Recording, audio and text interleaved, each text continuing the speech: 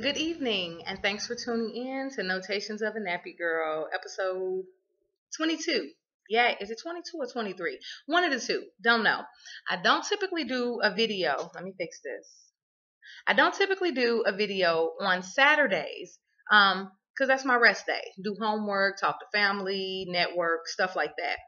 But I kind of felt like I needed to all right, so here's what's going on in the nation today. This is what I want to talk about nation events and our take on them personally as people and as human beings. You know, everybody, for some reason, nationwide for the past couple of hours, EBT has been down, which is SNAP benefits, which is food stamps, welfare, TANF, whatever you want to call it. All that stuff, you know, public assistance gets lumped together, dumped on a card, a credit card type thing, no matter what state you live in.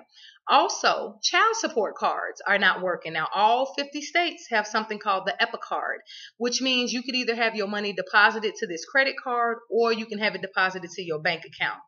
Either one, you'll get your child support benefits.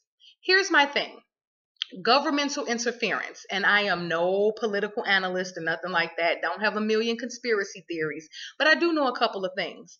When they came out with the EPPICard program, more or less, that was to see which people receiving these types of benefits had bank accounts. So they said, hey, we're not going to issue any more paper checks. Why? Because they can't track them. You can cash a paper check anywhere if it's issued from the government. So we can put this in your bank account. Please give us your information. Or we can put this on this card. Now, here's the thing you have a current state of affairs with the government being shut down, workers on furlough, stuff like that. Let me be clear, people. Unless you are sitting having tea with the likes of Donald Trump, Oprah Winfrey, President Obama, these House of Representative folks who shut everything down, them people are still getting their checks.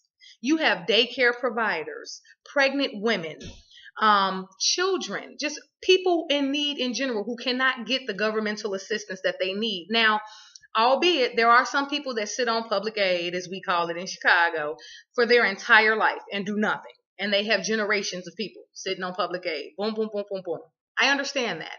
According to a survey do, it did by Duke University about two to three years ago, they said if your annual income is not equal to or greater than $60,227.00 per year, you are one paycheck away from being homeless and or needing some type of assistance. Now, I've done my research. I've checked into a couple of things. Here's the thing. People act like everybody can sit on aid and just do nothing. You have to meet certain guidelines to get on it, and people do lie. I'm not saying that they don't. People lie about their income, how many kids they get, who's pregnant, who's not. But the poverty lines are configured for federal assistance based on pre tax money. Now, that's something that never made sense to me. How are you going to count my household based on my net, as, as my gross, as opposed to my net, when I got to get taxes taken out? So, a person like me, for instance, who only has one child, they would say, according to government standards, I can't make over $1,500 a month. That's, I can't make over that amount. Hmm, that's less than, I don't know, my math sucks. I failed algebra a couple times. But if I'm not mistaken, that's less than $10 an hour, somewhere up and up. Um, if I make more than that pre tax, I don't qualify for benefits. But if I have one kid who eats a lot, or I eat a lot, whatever the case may be, and I just can't afford food, who's to say that I'm less than a person? Because I have to reach out from some level of assistance. Now, the reason what inspired this video is because I'm seeing people post on Facebook, you know, we share information. People are posting about, you know, EBT is down in this state, it's up in this state, it's down in this state, the USDA is saying this. By the way, the USDA, the US Department of Agriculture, is who mandates the food stamp program. And they say they are not federally funded, but why is all of this affecting them? Don't know. Some people are saying it's a glitch, it's a computer error, it's a system upgrade. I can't think of something affecting two national type programs. And like with child support, that's your money that your baby daddy or your baby mama worked for, and they had to pay that. Why can't you get that money? Now, I'll be honest with you, I'm a militant at heart, grew up in a military household. I believe in conspiracy theories. I personally think it's something about to go down, for lack of a better term. I mean, you got the government shut down. You got all these little things that keep happening. This ain't working, that ain't working, this ain't working, that ain't working. You got these furloughed, furloughed workers who aren't getting paid. You know, people that work for the EPA and different stuff like that that have nothing to do with the national deficit whatsoever, they're not getting paid either. But then you have sanctimonious individuals sitting on Facebook talking about laugh out loud, laugh my butt off. That's good for them sitting around on aid, not doing nothing. Here's my thing. How do you know they're not doing anything? How do you know? Have you gone across the nation and talked to every single person that receives federally funded governmental benefits, whether it's Section 8, whatever? Have you gone to all of them and asked them, what are you doing? Are you doing anything for this? Are you in school? Um, do you have a degree and just can't find a job? I know people who just took the bar exam and passed and can't find a job. I know people with master's degrees who can't find jobs. Hell, I have one friend, I only have one doctorate friend, but I have one friend who has her PhD and she's out of work. So, hmm, she has three kids.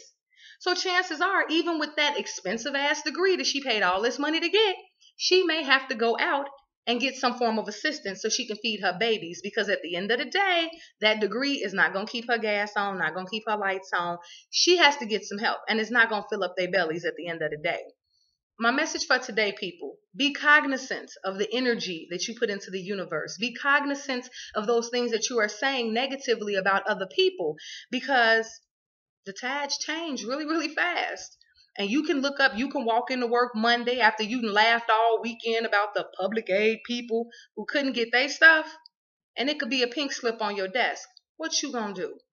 Because basically, you have to have at least six months to a year worth of salary saved up, or living expenses, I'll say, as opposed to salary, before you can quote unquote leave your job. So let's look at it this way. Say you live in a good part of the world, like Florida, where you could get a two bedroom apartment for $600 a month. Okay, that's 600 No problem. But yeah, if you're going to be out of work and you got to save up money, then you have to do the math. Well, what's, you know, $600 times 12 months?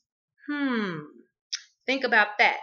That's about $7,200. Damn, I was quick with that one. Yay. So that's $7,000. That's just for your rent. Then you figure, hmm, light bill and gas bill together is about 200 a month. That's another 2400. Then you figure your car note is 400 a month. That's another 4800. Do you see where I'm going? Nobody has that kind of money sitting in their savings account right now. Cuz if they do, I need to come knock on their door. Can I get five dollars? Can can I get something? Two dollars? Something? I don't know. Everybody's in need. I don't care how much you try to put yourself up here. Hell, I do these videos as a way to motivate. I got bills. I got needs. I stress out. I cry. That's why my hair ain't combed.